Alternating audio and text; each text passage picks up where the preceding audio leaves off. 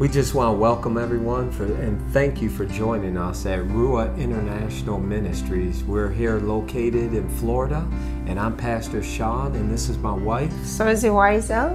And we are very pleased that you're able to be even with us this day. And we believe that this word that we have is a word spoken in due season that's able to change, that's able to transform, and it's even able to equip your life. So if you like to hear more and know more about us, you can subscribe at Ruwa International Ministries on YouTube. And we also have a website you can go to where you can find more information about us, our time, where we're located, even at ruwaintministries.com. And just as the word says in Proverbs 25 25, as cold waters to a thirsty soul, so is good news from a far country. We hope you're blessed this day, and thank you, and God bless you. Praise God. Um, we're gonna finish. This will be the last part of what we continued. It was uh, it was uh, we're talking about getting out of our space, because God, we were talking about last time. If anyone remembers and then uh, we're just talking about getting out of our space where God gets us out of our space mm-hmm. to put us in His place. Mm-hmm. So sometimes we get so used to or comfortable mm-hmm. in where we're at, but God will allow us to take us out of our comfort zone, but He never leaves us comfortless, you know? Because when He calls us out, He'll call us out of somewhere sometimes where we haven't been before, but we were talking about last time three things. We're talking about our comfort zone. We're talking about our complacent place. Sometimes we just become complacent where we're at. And we're talking about mediocrity, where we're like not striving to go nowhere. So this time we're going to do it a little different, but it was those three things we're touching on, but we're going to touch on a few other things because God wants us to get us out of our space. He, he calls us out and sometimes when he calls us out, it could be all sometimes out of where we lived. Some people get too comfortable even in the same city, the same place, the state that they're in, and God may have you to go another place, another country, you know, because He's the one that sets the boundaries and destinations, what He's planned for our life. And a lot of times we could get comfortable with where we're at, who we're with, or you know, with the people we're around, and God takes us out because he has a people that he's called us to at times. And if you look in the Bible, it shows it. God actually took Paul to he in Galatians, he said he was a preacher to the Gentiles, where Peter, he said, was one to the Jews. He was to reach his own people. Paul in the book of Acts, when you look, he was trying to reach the Jews the whole time. But the lot Jesus, when he called them, it was a lot to minister to the Gentiles because when he said, "I now clean my hands," I believe it's Acts chapter, I believe it was eighteen. He said, I, I clean my hands from the Gentiles and no longer will I preach. And then everything started going smooth for them. But before they were harassing them, stoning them, coming after them, and but they were jealous. They they wanted him be part of them, but they didn't want him to share what he had to the others, especially Jesus. So they came after him. You know, but he called. He was called to the. He said he first preached to the Jews first, then to the Gentiles. But when you look at his testimony of how he was called out, when he started preaching to the Gentiles, they were receptive to it. A lot of the Jews, there was some that came, but a lot of them he called because he went to Thessalonica, he went to Ephesus, he went to Galatia, and God was calling to reach the other nations. And he was taking them out of sometimes what we're familiar with and that's one of the things I want to touch on today our familiarity. You know, sometimes we get too familiar where we're at. It's familiar with people, it's familiar with places, and it's familiar with things. But God wants to take us sometimes out of that familiarity place mm-hmm. you know, to put us somewhere where we might not even met the people, know who they are, because he's called us to reach a people and sometimes we get too as far as familiar and just you know where we're like gotta be there. We don't want to go no, nowhere else.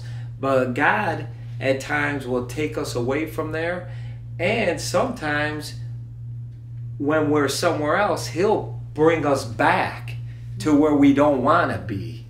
You know, there there's there's people who have fear, and I, this is the first one I want to speak out. Their fear of going back because of things they've done wrong, things that happened in the past, and they don't want to deal with what happened in the past. You know, because they think God's able to handle whatever happened in our life, and He's able to reconcile it or able to even, as far as fix it or whatever goes on in our life. I'm not saying every time we have to go back and visit it, that isn't the case. Because with our life, when we're saved, old things have passed away and all things become new.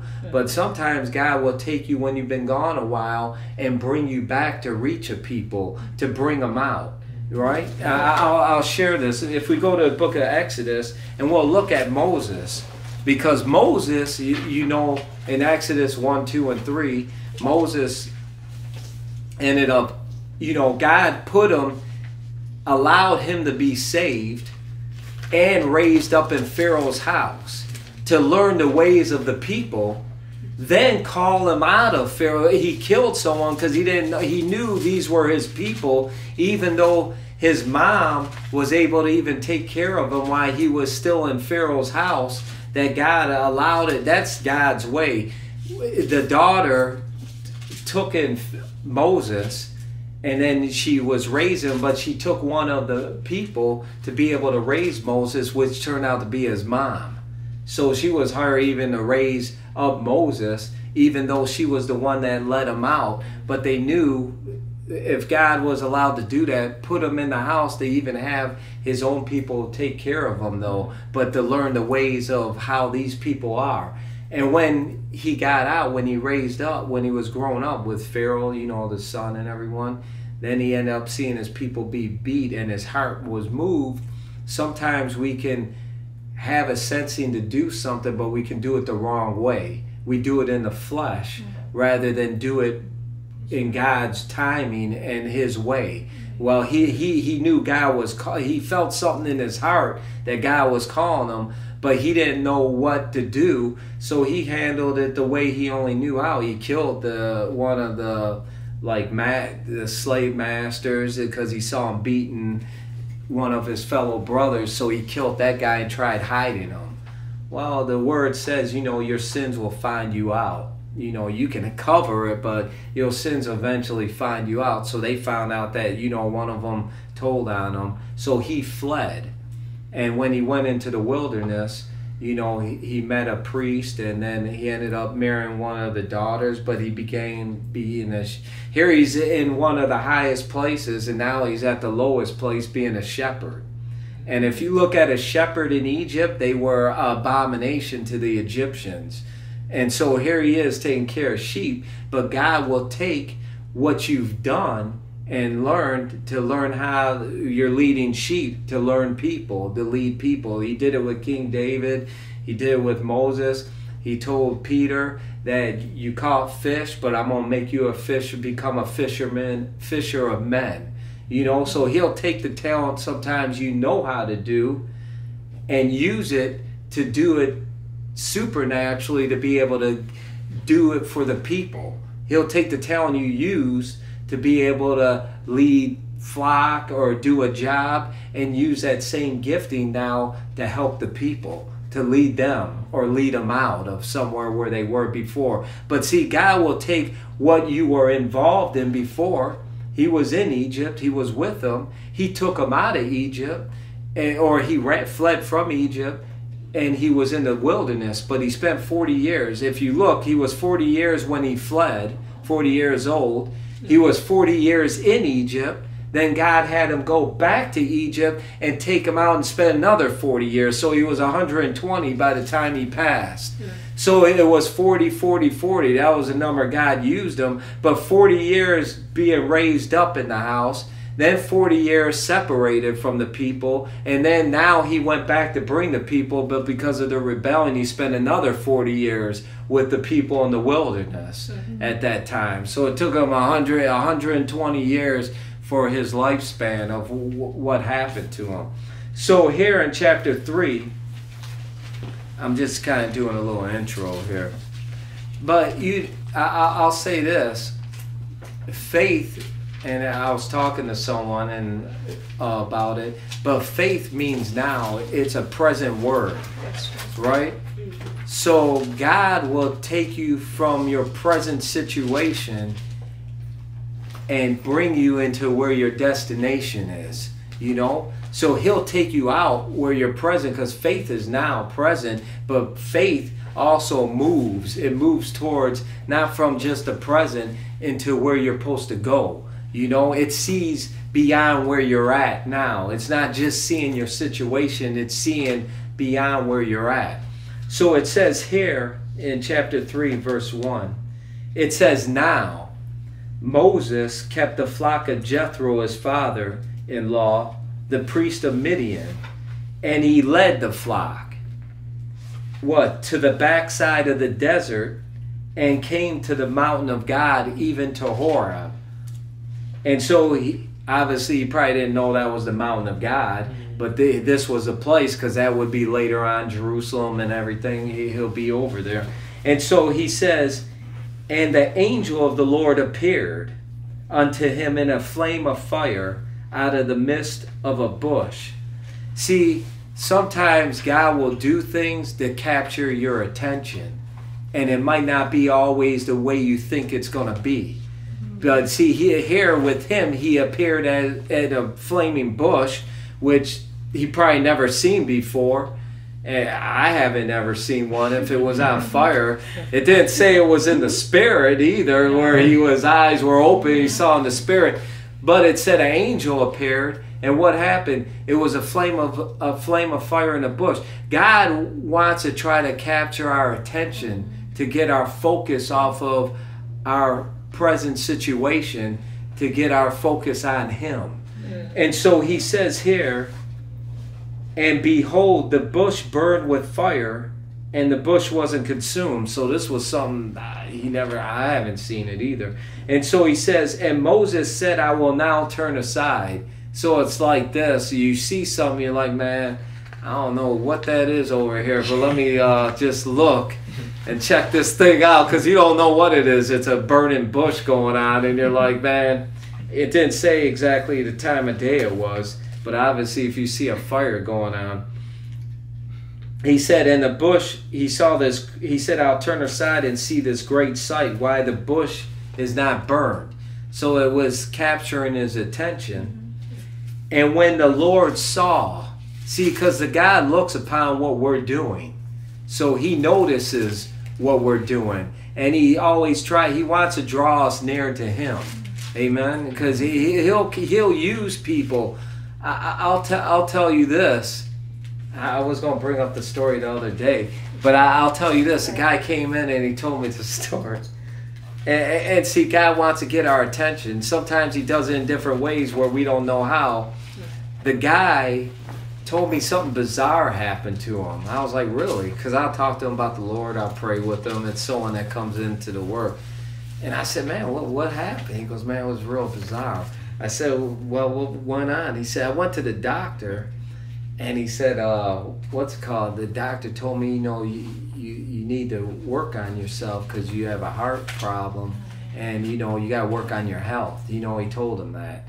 And uh, he said, oh, okay. And so obviously you have to do change, you know, change. So the doctor said, listen, instead of you paying this much money, I know a place you could go to, you, it'll charge you less for the medication. So he went to the store, and while he was there, he saw the food counter, right? no, so he, he told me this, and I'm, I see where it was going. So he said he ordered a bunch of different meats, right? And I, and I said, man, the, the doctor just got telling you, brother, you know, you know, you have a heart condition. He goes, yeah, I know, but you know, I like food. So he said, I, I started ordering all this meat. And then I was getting it. And this guy walked up to me out of nowhere. and he started yelling at me, saying, No, tell him, do not eat that. He goes, This is gonna ruin you. He goes, Don't. He screamed so loud, he was like, My mouth was hanging open. And he goes, he said, "Man, it's it was hanging open for like three hours, thinking about what this guy." He yelled at me. I said, "Listen, bro." I said, "You you just got done seeing the doctor, and the doctor told me what to do. Now God will use people, and He may use things to do because He's trying to tell you things you ain't paying attention to. So He'll do the way He'll work with you and how to help you." Mm-hmm. So here you are, he might have been telling you and you ain't even listening. You looking at your situation, it obviously it's food, and you like, man, let me go ahead and get this. I'm saying, brother, what's more important, your health or the food? Because the food's going to be there. But if you just got done leaving the doctor and then you go in there, I don't know who this man was he didn't know. The Lord said, Be not afraid to entertain strangers, for some have entertained angels unaware in Hebrews 13. Amen. Now, entertaining means to help them out and all that, but in this case, this one might have been helping you. And I don't know if it was an angel, but for this guy to yell at you when you grab the meat and tell her, screaming, No, do not do this, it will ruin you I was like, man. I said, did you buy the meat? He goes, well, I bought half of it. I said, bro. I said, man. I said, see, the Lord can try to get to you in different ways. You know, that's like you driving down the road. I mean, the signs are telling you danger, don't go down, and it's blinking lights and everything, and you still going, does it need to take someone to jump out in front of the car no. to have you stop before you go over a cliff or something? Mm-hmm. You know, because you he saw your condition. You don't know what may happen. You might eat the meat and something may happen. You might have high blood pressure. You don't know, and he could be screaming at you. You may not like the way how he's screaming. Well, no one likes how a parent screams at him, but if they telling you the truth, you need to listen. Mm-hmm. And so sometimes God will get your attention in different ways, you know?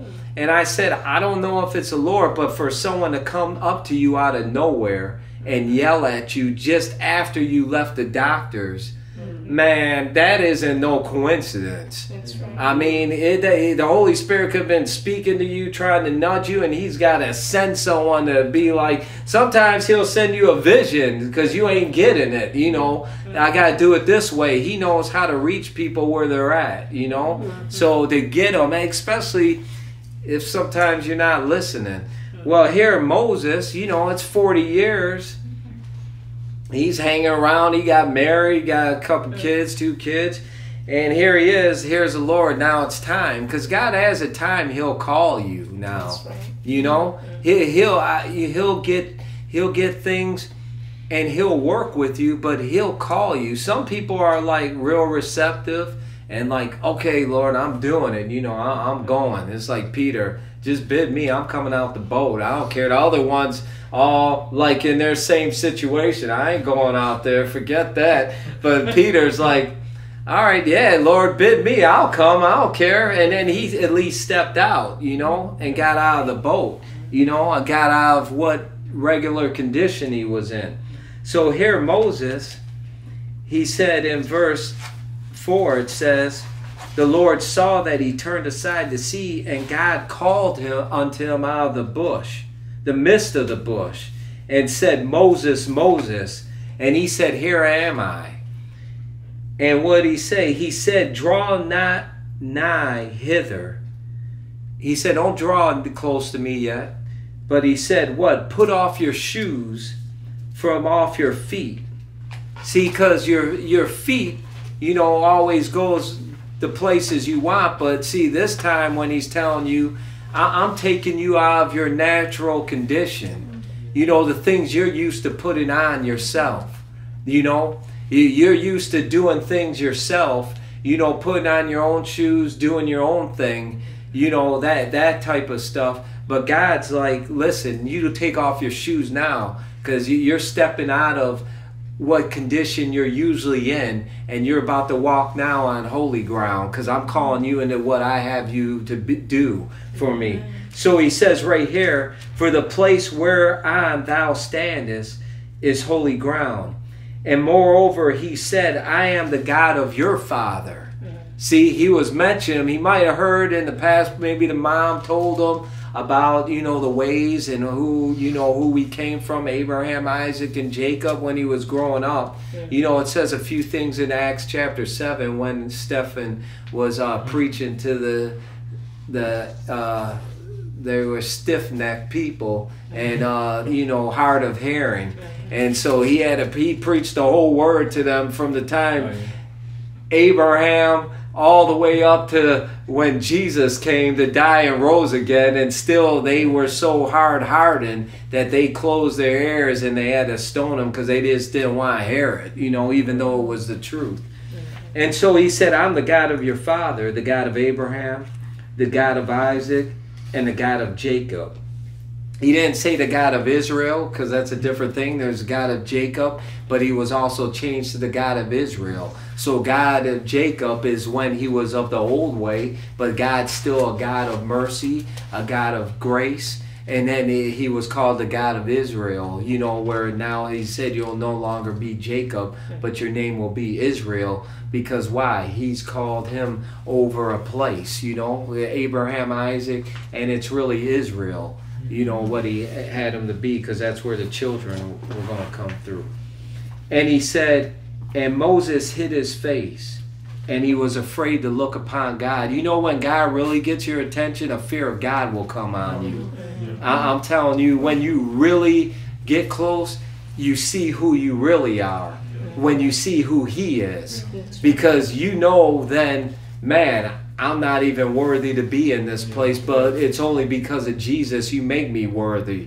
When you draw close to Him, because He didn't just say, there's people that got close to God, but this one, He said, come take off your shoes, for the place you're going to stand is holy ground. And His presence, He hid His face in there. The other one, you see Isaiah when he came and he saw the glory of God and his train of his robe in Isaiah 6 and then the angels were going around about God uh, around about the throne and saying, Holy, holy, holy, the Lord God, God Almighty. And then, uh, you know, where the train of his glory, of the, the, the glory was coming. And then Isaiah looked and he said, Man, he said, I'm a man of unclean lips. In other words, he was saying his mouth is foul. He, he's not even worthy to be in there. But the angel came and touched some coals, took coals and put them on his mouth to cleanse them you know?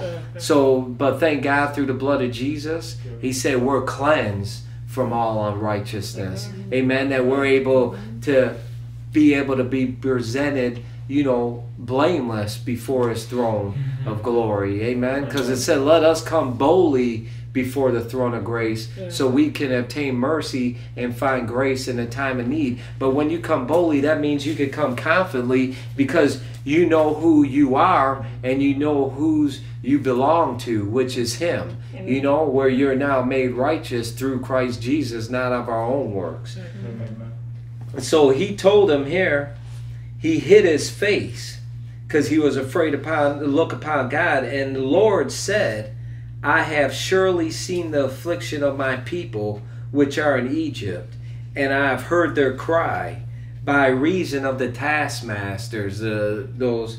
Uh, for I know their sorrows. See, God sees our tears. He hears our prayers when we cry out. Uh, he saw the children of Egypt, but now He's setting a point in time where He's raising up a leader to bring His people out. Amen. He, he told Abraham in the beginning that they'll be in they'll by he said Israel be in Egypt for 400 years. He told he told them and pro, it was like a prophecy about 410 years that they'll be in there, but he's going to deliver his people before it happened mm-hmm. because they were in the Egypt for that long. And so he says here, he said, "And I am come down in verse 8 to deliver them out of the hand of the Egyptians, to bring them up out of the land unto a good land and large, and unto a land flowing with milk and honey, a place of the Canaanites, the Hittites, the Amorites, the Perizzites, and the Hivites, and the Jebusites. Now therefore, behold, the cry of the children of Israel is come unto me, and I also have seen their oppression wherewith the Egyptians oppressed them. Come now, therefore. And he said, I will send thee unto Pharaoh, that thou mayest bring forth my people, the children of Israel, out of Egypt. And so, look at verse 11. Moses said unto God, Who am I? that I should go unto Pharaoh, that I should bring forth the children of Israel out of Egypt. See, he wasn't he he this is first time and now he's thinking about man why, who am i to go ahead and do this? Now sometimes god will put you in a, a have you do a task it's bigger than yourself.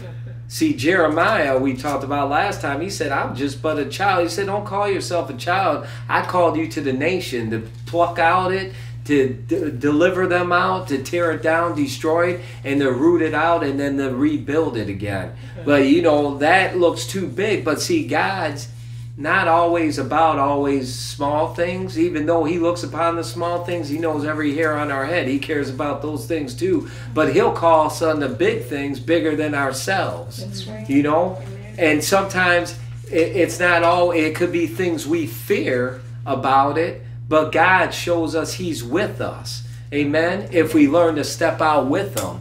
Because obviously, this task here, He's going into a place where He knew they were taskmasters, they were in bondage. So that could be something afraid to go back into. That's right. And so he said, Who am I that I, I should deliver them out of Israel out of Egypt? And verse 12 said, He said, Certainly I will be with you.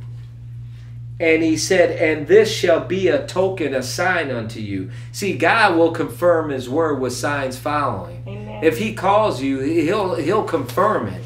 He said he'll confirm it in the mouth of two or three witnesses. When the Lord told us to go to Oklahoma, I said, Lord, well, you want us to move. I don't have a problem. Then he told us where to go in Oklahoma and he told us go Rhema. I said, well, confirm it. Man, three days later, I get a confirmation. Three days later, after that, I get another confirmation. Then after that, I kept getting everywhere I look, it's Oklahoma. I'm seeing Oklahoma plates. I turn on TV, it's Oklahoma. I couldn't get Oklahoma out of my head. Everywhere I'm t- looking at, it's all Oklahoma. So if you want a sign, he'll give you a sign, and you'll know because he'll be like, "Man, am I seeing things? I'm driving for cars are from me, Oklahoma plates." I'm like, "Man, what's on there?" I never even seen Oklahoma. Now I'm seeing Oklahoma everywhere. So yeah, I'm just saying he'll confirm his word, what it is. And he said right here, Certainly I'll be with you, and it shall be a token unto you that I have sent you. See, that's like an apostle. Because apostle in the New Testament, which they didn't call him in the Old Testament, apostle means sent one. See, some people are sent where God will be with them. He'll confirm his word with signs following. And some people just went. And it's like, man. Oh, uh, excuse me. In verse 12, it says, And when you have brought forth the people out of Egypt, you shall serve God upon this mountain. And then he said, verse 13, And Moses said unto God, Behold, when I come unto the children of Israel, and shall say unto the God of your fathers, Have sent me unto you, they shall say, What is his name? And he asked him, What what shall I say unto him? And then he told him, Say that I am that I am. And he said unto him, Say unto the children of Israel, I am that sent me. And God said, Moreover, thou shalt say in verse 15 to the children of Israel, The Lord your God of the fathers, the God of Abraham, Isaac, and the God of Jacob, has sent me, and this is the name forever, and this shall be a memorial unto your ge- generations. So when we look at and you read further, you could see he went there, and then Pharaoh, I mean, if you know you're really sent, he could have just took Moses, Pharaoh, and said, "You go ahead and you're going to work with the people." But somehow Pharaoh didn't kill Moses, and he standed up and showed signs, ten signs to him. He sent the locusts, the lice, the flies, made the blood, you know, and there was a whole test, but it was ten times he did it. but Pharaoh kept hardening his heart. But see, God showed he was with them. And see, when God's really with you, he'll he'll back you up. You know, he's not there just where he'll send you somewhere and not be there with you to back up where he has you. So he'll take you out of where you were and he'll at times send you back to a place where sometimes you don't want to go. I know in my past there was a place I didn't even want to go, but he sent me back there. I, I didn't even want to deal with. Honestly, I, I don't know if they're watching. I'm saying I didn't want to go back to my family's home. To be honest, I was gonna go somewhere else. I was cool. I was just me and the Lord, and I was good. I was even trying to see anyone. Hmm. You know, I was like, I'm good. But see, the Lord has another thought on His mind, and sometimes He'll send you back because God wants to see them saved as well. You know, I, I was good to me. I was thinking they didn't want to hear it anyways. I'm cool. I'll go out wherever He sends me in the world. I'll preach the word. It don't matter to me. I don't need to go back home because I seen other brothers. They leave. They got nowhere to go, and I was like, man, I'm cool with that. Let's. I'll go. I, you can put me where I, I'll go on the street. I'll go and preach the word. I don't even care. I don't need to go home. But uh, he he sent me to go home, and know what? I realized the Lord was there and he was showing up and God moved and I, and you know I, I seen the result of it how God uh, drawing my mom to the Lord drawing my brother to the Lord. Now I'm sitting here and now he's probably drawing my dad to the Lord. Mm-hmm. Because that's what I was saying. I didn't want to come here and he sent me back here. So I was like okay Lord however you want to do this it, it's good but I know it's not just about that. I know there's a reason for everything why he sends you. And so he'll send you out of that where you're afraid of and he'll let you know. He told joshua after moses died he said be not afraid. He goes moses my servants died now and now you know be strong and of good courage so he was letting them know you're going to lead a people it, it may look bigger than yourself but now it's time for you to go and lead the people even though you may not want to right? And so sometimes it'll be be like that. And here we'll look at a different situation. It, it, it's uh, it's getting out of your comfort, getting out of your space where God may be familiarity, and God wants to call us out of being familiar with everything. You know, it says here, it says, "He agreeth not with the old." So you see, old can't agree with the new, right? So how can two walk together unless they be agreed? Right? How can two touch unless they be agreed? So it says, and no man putteth new wine into what? Old bottles, the old nature. This is what he's talking about. Else the new wine will burst. The bottles will burst the bottles and be spilled, and the bottles shall perish. But new wine must be put into what? New bottles. Mm-hmm you uh, old vessel can't be filled with the Holy Spirit. It's got to be made new again by the regeneration of the Holy Spirit, and then He fills you with the Holy Spirit. Amen. You got to have a new heart. God, you got a person's got to receive Jesus in their life. If they don't, the Holy Spirit it'll just tear it. You know, I'm saying it won't work that way because the old and new can't walk together. Amen. So He says that's why He even tells us put off the old man and put on the new man. Amen. Amen. Don't walk after the flesh, but walk after the spirit. So he says, This is where I'm getting. But new wine must be put in new bottles, and both are preserved or they're saved.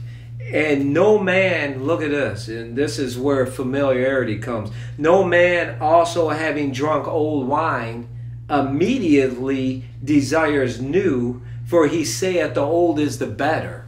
Mm-hmm. See, some people are so familiar with their old way of doing things, they don't want to step into something new. And God wants to get us out of the old way of thinking, the mm-hmm. old way of doing things. Ch- churches do it too. You know, they they go. You could. That's why denominations start. They start off with. Uh, uh, what's a name? There's so many. Charles. Uh, no, just different traditional churches, denominations. Oh. They go after the ones who have revivals mm-hmm. and they take on their names. Mm-hmm. And then afterwards, the way he did it, they try still keeping the way the same way and it doesn't work Mm-hmm. because God does a new thing. You know, there's a different thing for every generation. It isn't always the same because you're dealing with different people, but he'll, you know, they want to keep the exact same way. But see, we got to learn to move in the spirit That's and not right. move in the flesh. Right. You know, that's why Jesus, when he healed people, he didn't do it the same way all the time. People want to put God in a box and say this is the way he only does it. No. God, it says, I always quote that, and it says, how manifold is the wisdom of God, mm-hmm. is, or how manifold are the works of God. In wisdom, He created all of it, you know, the earth and everything. So there's a manifold way. You know, one guy, he put dirt on his eye, spit in his eye. Another guy, he just spoke the word to him. So he doesn't want us to get from just where we gotta look, and this is the only way it has to be done. It's like coming in with a preconceived idea. You know, when you come to a service, when you go to church, you can't walk in with a preconceived idea. You're meant, you need to change the way you think about God because God is wide, is big. Mm-hmm. So you can't say, okay, this what happened last week, so this week is gonna happen this way. Mm-hmm. No, it doesn't work like that because we are being led by the mm-hmm. Spirit of God. That, that's why it says, as many as are led by the Spirit of God, they're the sons of God. So some churches, they might dry up because they're trying to keep traditions of men. It may have been God at a time in the past, mm-hmm. and He wants to do something different. You know, He told them, what's it called in Joshua when they were cross over Jordan, that they weren't no longer eating the manna or the old. They got something new that they're coming, and He was bringing them to a new land. So He was showing them something different because God can show you different revelations of who He is. We can get it through His Word, but when you see it manifested, it's different. The way Jesus, all the things He's done, it says uh, if they were to be written, it wouldn't even contain them. All the books in the world couldn't contain what He did for three and a half years. He- I mean, He would be walking, He'd be doing work morning to night for three and a half years. I don't know. It doesn't say how much he rested. It said he got up early in the morning to pray. He got up. He be all way till evening. It didn't say much about how he even slept. One time it mentioned how he was tired, and that's when he talked to the Samaritan woman at the well. You know, then he said he was tired about it. But the whole time he he worked. I mean, he was moving. It was the work of faith I'm talking about. But he prayed and kept in the presence of God. But that after he came up out of that fast 40 days and overcome the devil, you know, the lust of the flesh, lust of the eyes, and the pride of life. And what happened? He came out in the power of the Spirit of God. And then he said, The Spirit of God is upon me because he has anointed me. And the Jews were still stuck in their way. They were like, we never seen no one speak like this with this kind of authority before. You know, who is th- this? He's the son of uh, Joseph. You know, the the Mary, the mother, and his brother James. He's a carpenter. Who's this guy coming in talking like this? You know, so they're caught up on the outside or what the past was you know, because he grew up in the world, but he, when he came, he came into the world as a virgin. That's a miracle right there, you know. If they knew anything, they would know, you know, but they weren't always. That's why he would tell them, You think you have eternal life, search the scriptures to, and look in them, because the one you want to kill, you think it. He said, Before I, Abraham was, I am, you know. And then he had it consistently. But after him, you look at Peter when he was in the book of Acts, when he spoke the word in boldness and he told them and he quoted the book of Joel and he said his pouring out his spirit upon all flesh and then he told them to repent and to convert. But later, you look, I believe it's chapter 4 or, or 5, when he was walking, it said his shadow, the people would follow it and be healed. Now, you didn't read about that anywhere too much in the Bible, but there you see uh, something new doing being done because God's Jesus said, "Greater works will we do than these." But God doesn't want us to be put him in a box. He can do a new thing, new thing with us out of our familiar place. Even on a job, in a place, maybe take you from where you were to put you somewhere you never been before. Right. Yeah, and He wants to take us out of the places where we're familiar with.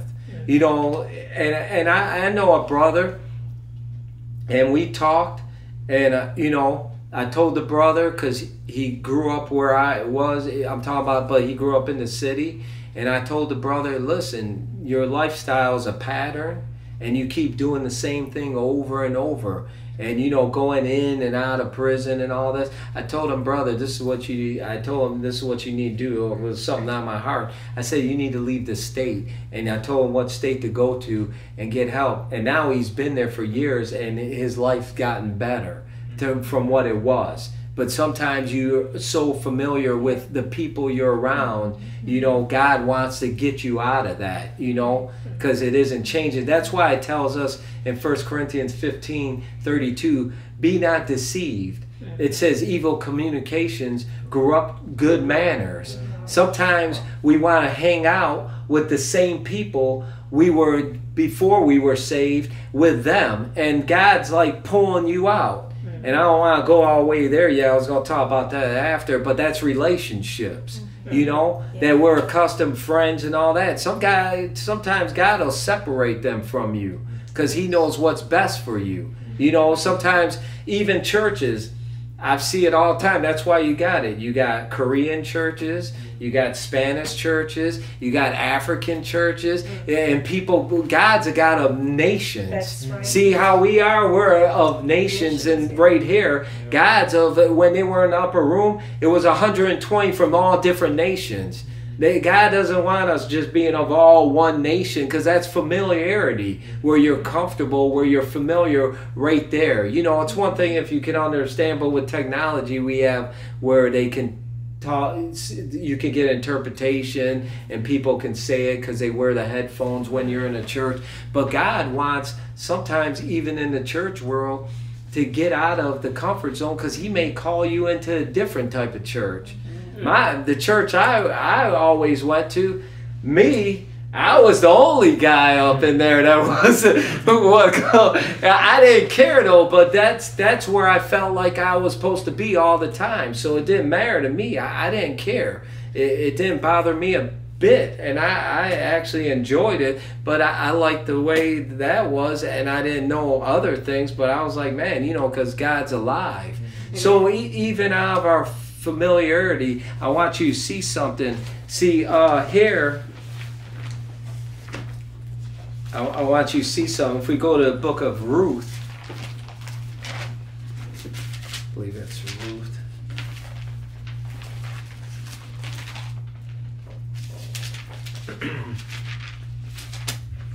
Joshua, Joshua, Judges, and then Ruth. Right? Yeah. So Ruth, when we look at her, it's a small book. It's only four chapters here. But if you look at this, when Naomi, right, she left her country, right, because of circumstances, mm.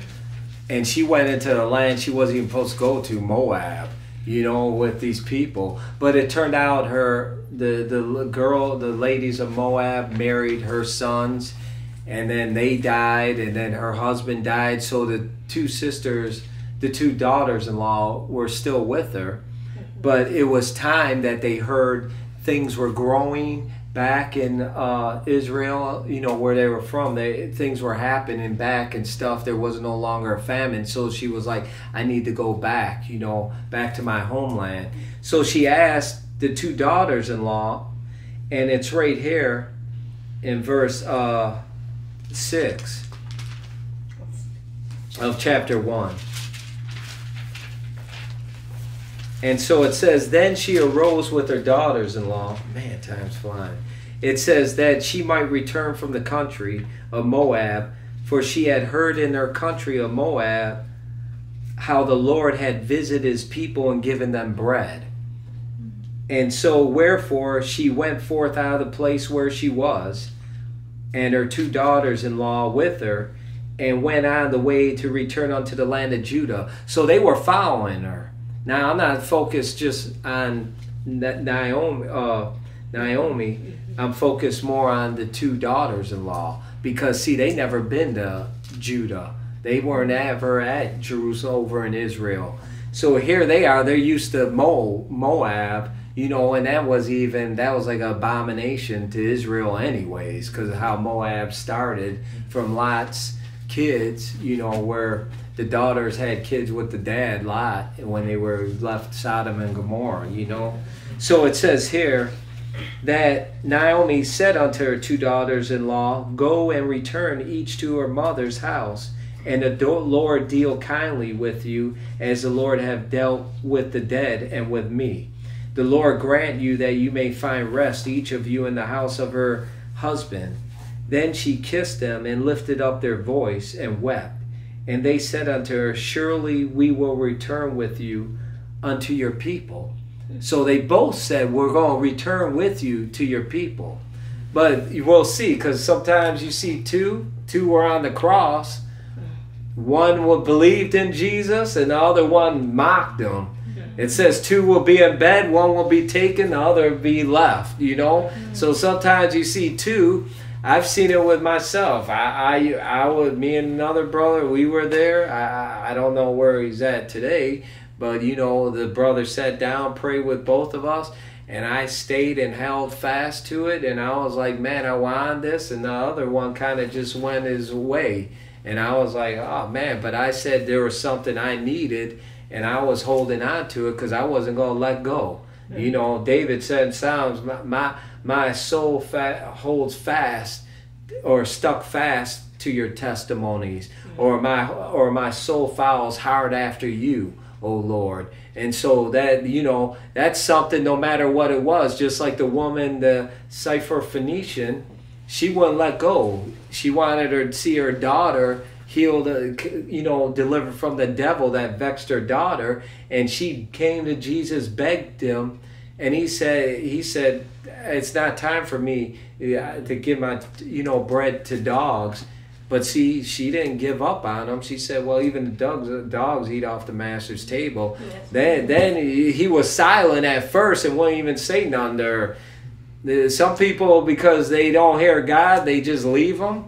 Like he, just because you don't hear nothing from him, uh, or some people are like, "Well, I tried him, I didn't see nothing happen," so they just go on and do their thing. Nah, if you you know if you really want him, you'll press. You know, God sees right. when you're in desperate need, you know. Mm-hmm. But then she finally grabbed a hold of him and begged, and then he said, "Go home. You know, your daughter's healed of the death. You know, delivered of the vex from. She's healed of that, so you can go home." And he said, "I haven't seen no great faith in all of Israel like her, because she just believed and wouldn't let go. Mm-hmm. You know." And that's the kind of faith sometimes you need in a situation, no matter what anything seems like you ain't gonna be offended i'm gonna hold on i ain't letting go just like uh, when uh, elijah and all the people he was found elisha was found him and said it's your master servant's leaving you, you need to stay. He said, no, hold your peace. I'm going. I'm, he kept going from Bethel. He kept following him till he uh, received what he asked of when uh, Elijah left. And he said, no, he was holding on. He wasn't letting go. And that's sometimes where the blessing's at you know, because God will see how far you'll be able to go. Will you just, will you get easily offended and leave or allow someone to do, say something or do something where you'll just cause you to go or you to hold fast? You know, you to go back to your familiar ways of what you used to do or you to hold on? Because everyone's given an opportunity. I've seen people, they left God out from places and they get back into their familiar place and they go back into the same thing and it's like a cycle over and over again. But god wants to take us out of that to do something new in our life. That we desire something new you know? It's easy. I, have been we've i mean you guys came from er, most of probably came from some some other country here or whatever. But sometimes you got to leave the states too or where you're at or go you know and God will call you, but you know you hear from the Lord. You just don't go on your own. You gotta know God's telling you to do this, you know. So he said he she said here, it says they said, We surely will return. In verse 11, said, Naomi said, Turn again, my daughters. And he said, Why will you go with me? Are yet any more sons in my womb that they may be your husbands? So she said, Turn again. She said it again twice. Third time. She said, Turn again, my daughters, go your way, for I am too old to have a husband. If I should say, I have hope I should have a husband also tonight, and should also bear sons. Would you tarry for them till they were grown? Would you stay for them from having husbands? She said, Nay, my daughter, for it grieveth me much for your sakes that the hand of the Lord is against me. She she's looking at only her way of what she's thinking God can do. But God's bigger than that and she wasn't seeing everything that God can do because the way He blesses us isn't always the way you think He might bless us. Mm-hmm. See, she wasn't, she's just thinking about her having a baby or raise up sons. No, God has a different way, and we'll see it, you know, in the here. But look at this. It says, verse 14, they lifted up their voice and wept again. And Orpah, who kissed her mother in law, but Ruth what? Clave unto her. You know? So cleaving is holding fast to something and you're not letting go. Even they, they what Job say, though he slay me, I'll still trust in him. You know, that's one of the sayings that people quote. But though he he slay me, I'll still trust. He also said, we talked about before. He said, all the days while I wait for my appointed time till my change cometh. So in other words, I'm not giving up. I'm not quitting. I'm gonna wait That's till. I see my change come. That's right. Amen. And sometimes you got. Sometimes you may be in a situation you go. That's all you can do is wait. But he said, having all done to stand, you'll stand therefore.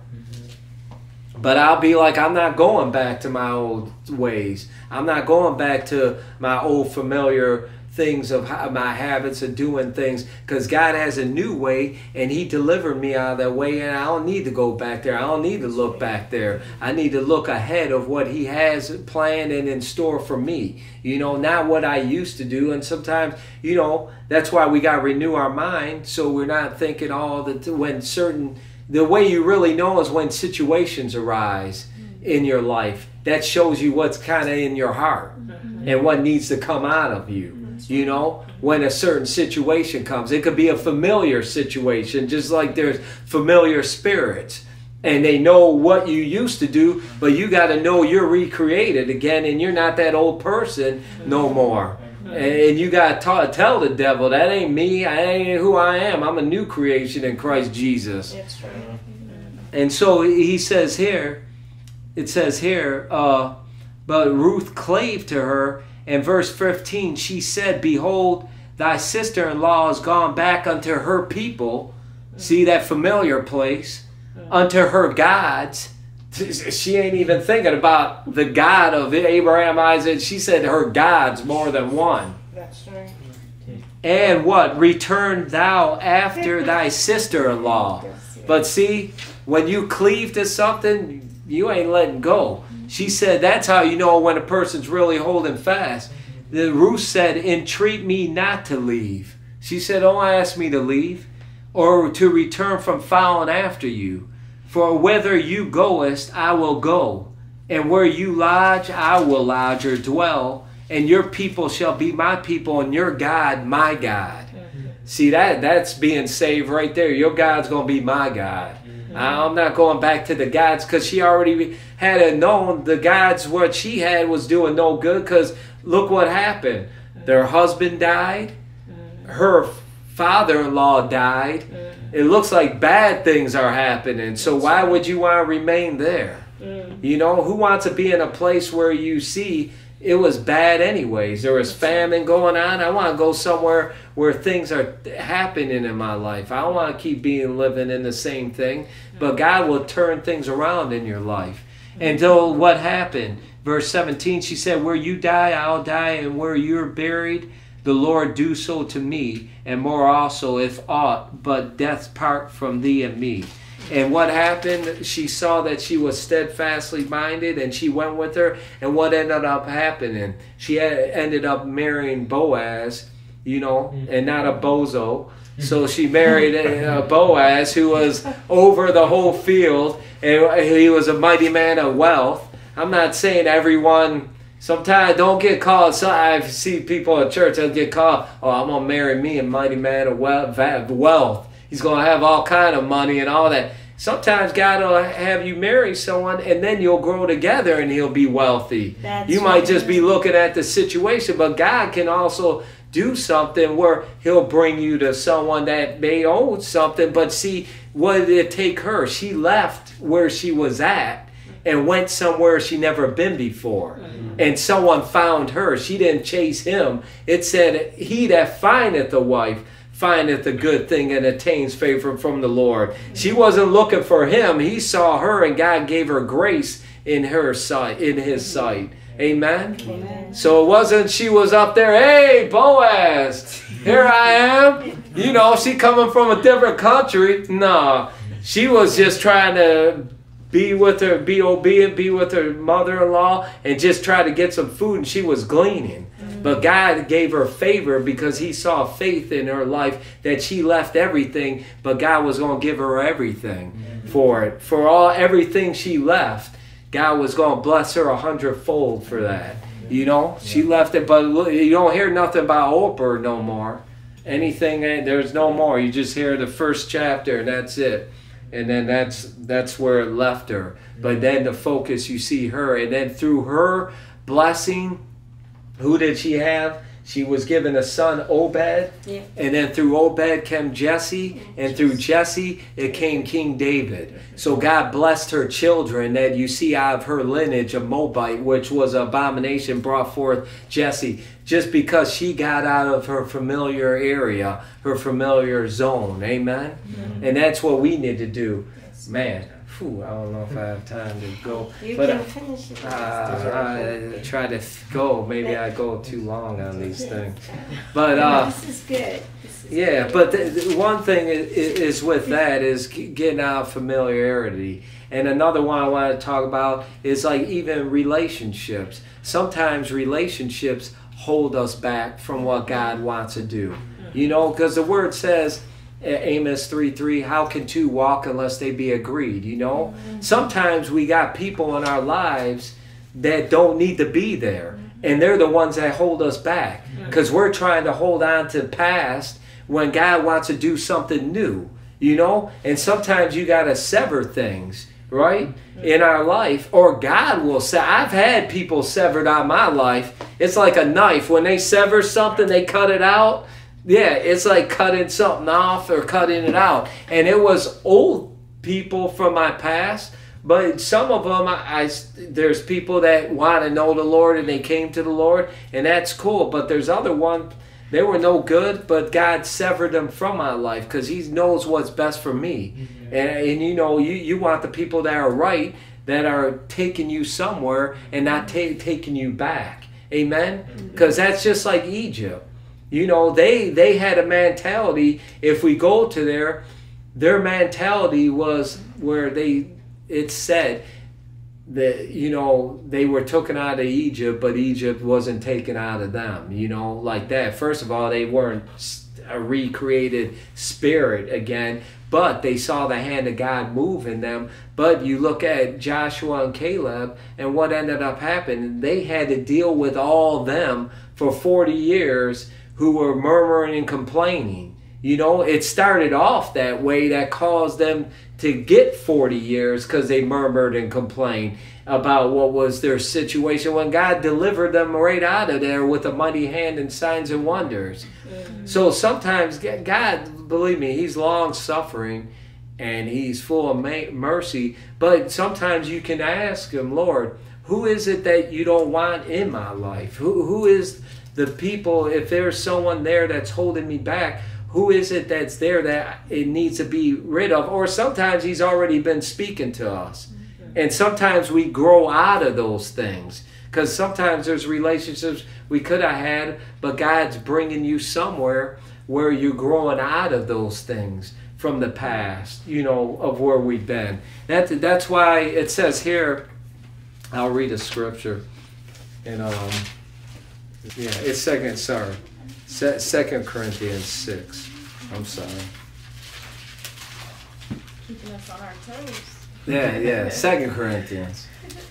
It's, it's almost similar, but this one says it a little different.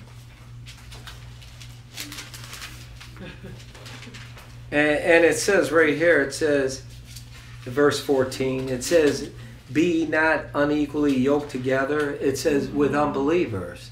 You know? See, God, God, when we're renewing our mind, some of the conversations we had, we don't need to be talking like that no more. You know? Because some people will be talking like that to people around. Hey, I'll be like, I don't partake in that, man. You know? in that in that kind of talk. But it, it, says, "For what fellowship has righteousness with unrighteousness?" You know, mm-hmm. Because what we what we're to do is to help people. We're to edify. We're to exhort. We're to draw people to the Lord. We don't want them drawing us to them to the world. It's to draw us to the draw them to the Lord. Amen. Mm-hmm. And if they're not trying to go with there, then you know we don't need to be with that. I'm saying, but some things it's saying to here, I'll read a little further. And what communion has light with darkness? So it has no common ground, you know? So that's why it tells us here in John 3, look at this. But see, some people even follow Jesus for certain reasons. Some follow him because of the miracles. You know, they were like, oh, because you saw the loaves of bread? Is that why? But he was talking about the leaven with the Pharisees, but some of them were following because of the miracles that were going on uh, you know but he, he told them if you if you don't believe my words believe in what you I do but some of them were just following him and then you see later on when he started talking about it in John chapter 6 about drinking the blood and eating the body they could it, they said this is a hard saying and it said they left him and then he told Peter, Will you guys also go also? And he goes, Where are we going to go? Who we have? You have the words of life, and you know, you're Christ. And he goes, Well, flesh and blood hasn't revealed this unto you, but my Father which is in heaven. Mm-hmm. So, you know, he knew, but some of them left him. You know, it was uh, quite a few found, but some left. They were like, Man, we don't even know what he's talking about. Talking about eating body and eat, drinking blood, you know, like cannibalism or something. But uh, he, he says here in, in, John 3, what does it say? It says right here, uh, verse 18 think you should clarify that because you don't want that to go like that. You, clarify what Jesus meant. No, he meant communion. Yes. Yeah, that, yeah, yeah. We want me communion. He wasn't. Yes. Yeah, he was just talking about communion. Yeah. Drinking the, you know, then the wine or the juice today, and the, eating the bread as yeah. communion, where we become partakers as one with them. Right. Yeah. You know, mm-hmm. but they were thinking, you know, they they were thinking. That's why, yeah. They were like, man, it's a hard saying. We don't know what he's talking about. We need to go on from here. Yeah. So you know, so separate. So he says here in verse 18, it says, And he that believeth on him is not condemned, but he that believeth not is condemned already because he's not believed on the name of the only begotten Son of God. And this is the condemnation that light is coming to the world. Mm. But what?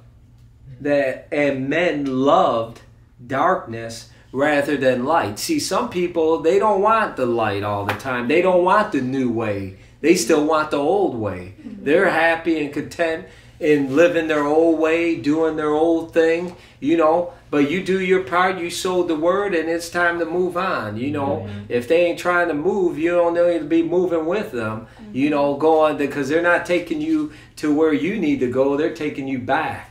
And so it says right here, and, and because why? Their deeds were evil. And it says, For everyone that doeth evil, what? Hateth the light. Neither cometh to the light, lest his deeds should be corrected or reproved. You know, they'll be checked that way. So, in other words, reproved, or in other words, it'll say, uh, yeah, be brought home. Eh, but he that doeth the truth, verse 21, cometh to the light, that his deed may be manifest, his works may be manifest, that they're what? Wrought, they're worked in God. So that's what it is. And so just, I was going to get it's just for time's sake, but sometimes even in a, a relationship, you know, the the old doesn't always like the new. You know, when you're changing, some people aren't always going to want to hang with you. Or some people get jealous of you and what? They don't want to see you move further in your walk. They want to try to pull you back, you know? Or they test you at times. There, there's a lot of different things that can go on. But the thing is, I've had friends when I, what's it called? In my past, when I first got saved, man, they thought I was crazy because I was talking the word and everything. They didn't want to hear that. But you know what? I was like, praise God. My thing, I'm I know God's real now. I don't care. Well, You do what you got to do. I'm going to do what I got to do. But I, I know I'm holding on to this because this is real. Mm-hmm. And you know, you know, however it is. But if you want to be around me, I'm gonna tell you the word. That's what you gonna hear. So you don't like it, well, you know, yeah, I have a great life because I, am gonna share the gospel. That's what I want to talk. You don't want to pray and hear the word you know that that's all fine and dandy but some of them might not just want to be around it you know but you know i've learned as i grow you know how to i'm saying he that winneth souls is wise but you know it's people that you come in contact and you learn what to have a relationship to draw them into the lord you know? But there's old people that people have that they hold on and sometimes that stagnates you because god doesn't want us to hold on to the past. He has a brighter future because it says the path of the just in Proverbs 4 is as a shining light that shineth more and more unto a perfect day. So, God, our day can get brighter and brighter rather than looking in the past where it's darker and darker. Mm-hmm. He's taking us out of our familiar place or out of our past relationship place to bring us into a new place out of our own space to bring us into a new place. Amen, amen. so so we'll pray. Try to fit everything in. And, and if something's touched your heart we're just going to pray. And if you see something that god's shared with you in your heart we're going to pray and uh, god you know you you speak it before the lord the Lord will heal you of it. Sometimes you gotta renounce it or ask the Lord to forgive me. And it, it, sometimes he'll, he'll he'll move the situation, or sometimes you gotta let go. There's people I had a man I didn't want to, and I was like, all right, you know, okay, Lord, and just had to go and do you know what He said because it wasn't a healthy environment, you know, for my life, you know. And sometimes you gotta know what's healthy for you you know, it's like food. Some food you can eat. Some food, man, it ain't good to keep eating that. You need to get rid of it, you know? And, and that's what it is. And food is words. What, what they keep talking about? What they keep always bringing up? Some things you don't need to keep hearing that. Huh? You know, my past was my past. I'm a new person now. If that's all you keep thinking, you know, eh, God, eh, He couldn't do a lot of works around them because of what? Their unbelief you know? And so sometimes family too. I'm not saying you always to cut them off like totally. Some people, they might have to get away for a while just so God can do. But you want to know this is the Lord telling you to do that, you know? Amen. But God also is about winning souls, you know? And the best thing, love, it, it, it, it, never fails. That that's the main thing. Amen. So love covers a multitude yeah, of sins. Definitely. And I've learned that, yeah. Amen. We all learn that, praise God. Amen. So we'll, we'll go ahead and pray.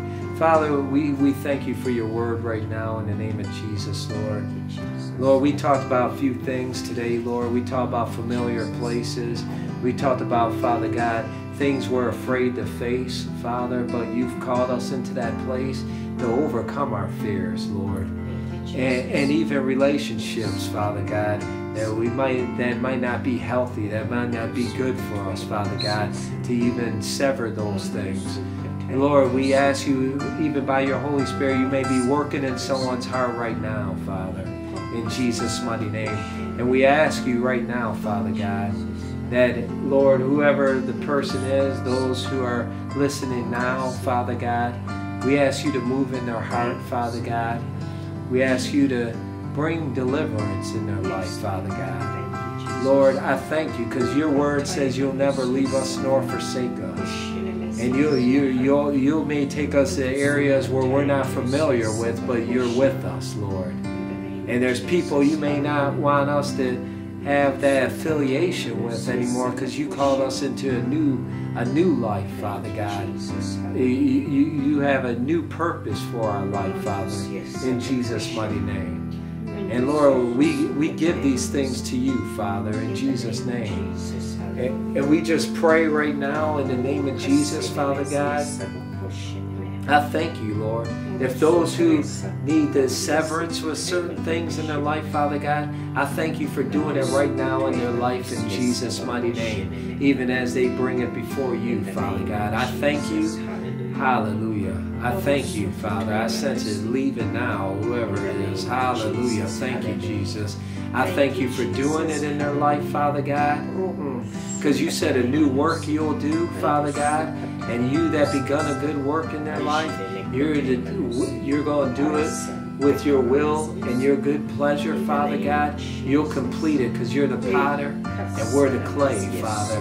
And you mold us, you make us, and you shape us and we're conformed into your the image of your dear Son, Father God. We thank you, Father. We glorify you for it right now in Jesus' mighty name. Oh, hallelujah. We thank you for your perfect peace. Hallelujah. Right now in Jesus' mighty name. And we give you glory and praise and honor for it, Father God. In Jesus' mighty name. Hallelujah. Thank you, Lord. Thank you for working because you love us, Lord. Oh, hallelujah. You have great plans and purposes for our life, Father God, bigger than what we can see in the natural, Father. And we thank you, Father, hallelujah, in Jesus' mighty name. Oh, we give you the glory, honor, and praise, Father. In the name of Jesus, hallelujah. In the mighty name of Jesus, Lord, I, I sense someone, there's an evil spirit. I sense someone on the left side that it's like a it's like a sword that just cut in, in that's just cut. It's like a headache that doesn't you can feel it from far away but you can feel it even closer. And it's something that it's an evil spirit Father, I bind that foul, unclean spirit of witchcraft right now. I take authority over you, Satan. I command you, evil spirit, to loose and come out of them right now. In Jesus' name, and I cast you to the pits of hell. I cancel your assignment, Satan. I render you powerless over their lives right now in Jesus' name. I rebuke you, evil spirit. I command you to take your stinky hands off them right now in the name of Jesus. I command you to loose and come out, you evil spirit, and I cast you to the pits of hell in Jesus' mighty name. The blood of Jesus is against you, Satan. In Jesus' mighty name. The blood of Jesus is against you, Satan. Mashine megara sikatoka. Mukoka manazia sabakoshako. In Jesus' mighty name. The blood of Jesus is against you, Satan. I render you powerless of their lives right now. In Jesus' mighty name. In the name of Jesus. Jesus. The blood of Jesus is against you, Satan. In the name of Jesus. We thank you, Lord, for healing and deliverance right now in Jesus' name. Thank you, Jesus. Hallelujah. Oh, thank you, thank you, Lord. Hashimana And, and Father, right now in the name of Jesus, I just Oh, rebuke any hallelujah, hallelujah. inordinate affection, oh, Father God. Like an oh, unclean affection, I rebuke that right now. In Jesus' name, I thank you for severing it from them. In the name of Jesus, Lord. Hallelujah. Thank you for doing it now. In the name of Jesus, I thank you for healing. In the name of Jesus. In Jesus' mighty name. In Jesus' name, that hallelujah. Even on the left side, that thing's gone. I sense it leaving now in the name of Jesus right now. In Jesus' name. The blood of Jesus is against you, Satan. In Jesus' mighty There it goes name. The blood of Jesus Jesus is against you, devil. In Jesus' mighty name. In the name of Jesus, loose God's people. In Jesus' mighty name. Hallelujah. Thank you, Lord. Thank you, Jesus. you, Father God. Hallelujah. Thank you, Lord. Hallelujah. Thank you, Jesus. Hallelujah. Thank you, Jesus. Thank you, Lord. Hallelujah. Thank you, Lord. Thank you, thank you, Jesus. Hallelujah. Father, In we, we thank you, we give you glory, Hallelujah. and we give you the praise for it. Roka sakataya manusia sanena. Thank you. Mashine megarasika marikato kamonokona Thank you, mujene ne kota ya manusi mashine mezia soba koshaka Thank you, Father. siyayibopha imimo emibi kasatane siyayibhidliza ngegama likajesu kristu. Loose god's people in the name of jesus you have no power you have no authority in the name of jesus resika toya manusia sanena in the name of Jesus. I thank you for breaking that off the top of their head in the name of Jesus right now. In the name of Jesus, I command it to go in the blood of. Jesus is against you, Satan. In. Jesus' name. I command it to go in Jesus' name. In the name of Jesus, loose God's people, Satan. In the name of Jesus. Devil, you are a liar, and the truth is not in you. In Jesus' mighty name. In the name of Jesus. Thank you, Jesus. Hallelujah. Roka saka, roka sikimina hanamasi, roka sikimina zia soba koshama, eresera mandusia sanena muzika mana hanuba, mukoka, mushineme hanaba koseke, mujenene kota ya manusi. The blood of Jesus is against the devil in Jesus' And, mighty and, name. and someone's Hallelujah. someone's left knee in the name of Jesus, I rebuke that pain in their knee right now. And I command that pain to go in the name of Jesus. And if you just move your knee, you'll see the pain. It'll leave in Jesus' mighty name. Because by Jesus' stripes, you're healed right now. In the name of Jesus. And thank you, Lord, for touching her knee right now. In Jesus' mighty name. Hallelujah. Thank you. Thank you, In Jesus' mighty name. Oh, precious Jesus. Hallelujah. Have your way, Lord. In the name of Jesus, for the Lord has broken through the enemies of your soul. He has scattered the bonds of those that encamp against you. He has broken the cords of wickedness that had entangled you in Jesus' mighty name, and He destroyed it in Jesus' mighty name. Hallelujah.